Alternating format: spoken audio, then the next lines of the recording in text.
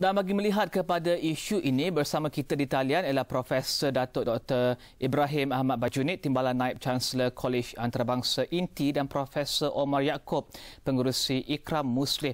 Dan uh, Prof, saya mulakan dengan Prof Datuk Dr. Ibrahim Ahmad Bajunit dulu. Prof, soalan pertama saya adalah setakat manakah benarnya persepsi bahawa uh, penda- uh, lepasan sekolah agama memiliki pendapatan rendah?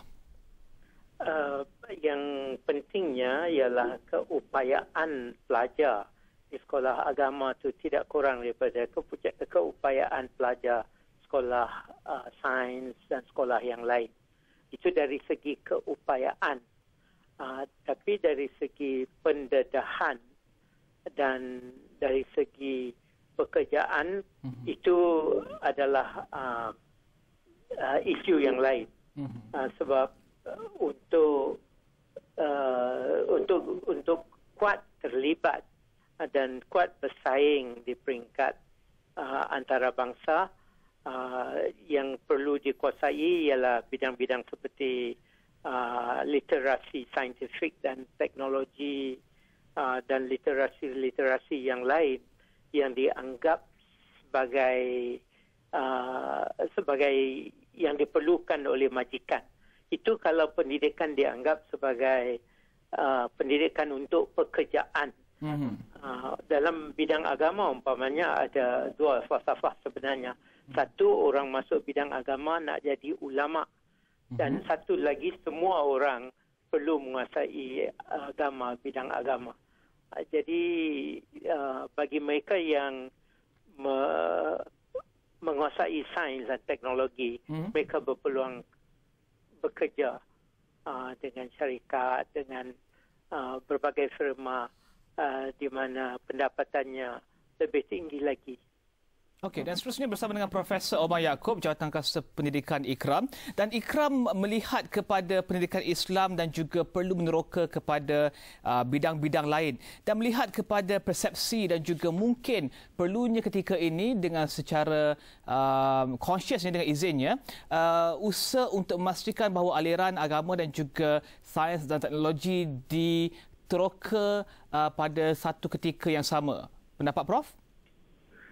Ya, uh, mengenai isu ini, uh, hmm. kami di pihak Ikram Muslim, kami melaksanakan kurikulum yang bersepadu. Hmm. Ya, ini dalam masa yang sama kami menjalankan kurikulum uh, KSSR, KBSM dan seumpamanya. Tapi dalam masa sama kita juga melaksanakan kurikulum yang uh, kami bina sendiri berdasarkan kepada untuk memantapkan uh, kefahaman dan uh, agama dan juga uh, pembangunan sasiah pelajar itu sendiri. Jadi dalam dalam hal ini, ianya saya sendiri kurang bersetuju lah sekiranya kita mengatakan bahawa hmm. uh, sekolah agama, pelajar atau pelepasan dari sekolah agama mempunyai pendapatan yang rendah ataupun uh, kurang uh, mempunyai pasaran dari segi pekerjaan dan seumpamanya. Kerana ianya bukan berdasarkan kepada sekolah agama ataupun tidak. Tetapi hmm. ada keterampilan yang dibina oleh sekolah-sekolah agama itu sendiri.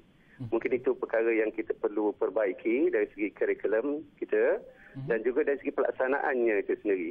Dan ini kita telah usahakan di sekolah-sekolah Ikram Muslim yang berjumlah uh, 39 buah yang merangkumi 15,000 pelajar dan uh, kebanyakan daripada pelajar-pelajar kita boleh pergi ke mana-mana bidang profesional ataupun juga diniah. Ramai daripada lepasan kita yang terlibat uh, sebagai doktor dan engineer dan juga pakar ekonomi dan seumpamanya. Tidak ada juga yang melanjutkan pelajaran di bidang agama ataupun uh, menjadi uh, ahli usuluddin dan syariah dan sebagainya. Dan, dan tentunya mereka yang masuk ke bahagian agama ini mendapat pendapatan yang juga setanding dengan mereka masuki bahagian uh, sains dan juga uh, kejuruteraan contohnya. Ya betul, itu hmm. yang kita maksudkan bahawa ianya tidak dikaitkan dengan agama ataupun tidak kerana hmm. Ianya lebih kepada keterampilan ataupun uh, uh, apa ni kebolehan yang ada pada pelajar tersebut. Hmm. Mungkin dari segi akademiknya dia kurang tetapi walaupun di dalam bidang agama dia cemerlang di dalam agamanya. Hmm. Maka dia diterima misalnya untuk ter, untuk menjadi pakar-pakar sebagai pakar-pakar ekonomi Islam contohnya kewangan hmm. Islam dan uh, bidang-bidang ini kini banyak sedang berkembang dan ramai daripada pelajar-pelajar daripada sekolah-sekolah kita ini yang kini diterima walaupun sekolah agama dia belajar daripada diniah mendapat tempat yang baik di dalam uh, bidang-bidang pekerjaan yang sedemikian. Dan uh, Prof, eh, Prof Datuk Dr. Ibrahim Bajuni, mungkin Prof boleh memberikan respon kepada apa yang dikatakan oleh Prof Omar sebentar tadi dan juga seterusnya bergerak ke hadapan apakah yang perlu dilakukan untuk memastikan bahawa mungkin sentimen yang wujud kepada pelajar lepasan aliran agama, uh, pelajar lepasan uh, sekolah-sekolah jenis lain, uh, mungkin di, di, dihapuskan sentimen ini dan melihat kepada pendidikan dan juga hasil uh, sekolah-sekolah dan universiti di Malaysia ini dan uh, apa yang perlu diwujudkan untuk memastikan bahawa tidak kira daripada mana mereka keluar, uh, graduan dan juga uh, hasilnya adalah cemerlang? Uh, apa yang dikata oleh Prof. Umar tadi sememangnya tepat. Mm-hmm. Uh, sebab yang pentingnya ialah pelajar itu sendiri, kurikulum yang diguna, uh, sekolah atau institusi yang berkenaan.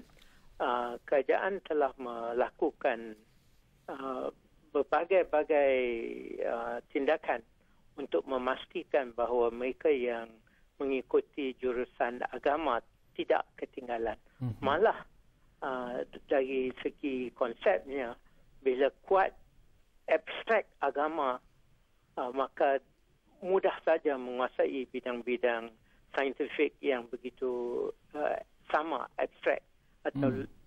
uh, yang relevan kepada kehidupan seharian. Uh, tapi saya nak kata apa yang uh, disebut oleh Prof. Umar tadi memang apa yang diulaskan uh, tadi tepat. Mm-hmm. Uh, segala-galanya tertakluk kepada pelajar itu sendiri, mm-hmm. kurikulumnya, institusinya. Okay. Dan kalau yang kerajaan pusat, sekolah-sekolah kerajaan pusat dan sekolah seperti Ikram, okay. memangnya uh, hasilnya adalah baik. Tapi bagi sekolah-sekolah yang dibiayai oleh kumpulan yang tak kuat dananya atau juga oleh kerajaan negeri, ada kelemahan-kelemahan yang perlu diatasi. Okey, terima kasih Prof. Ya. Dan Profesor Datuk Dr. Ibrahim Bajuni sebentar tadi Timbalan Naib Chancellor College Antarabangsa Inti dan juga Profesor Omar Yaakob pengerusi Ikram Muslim.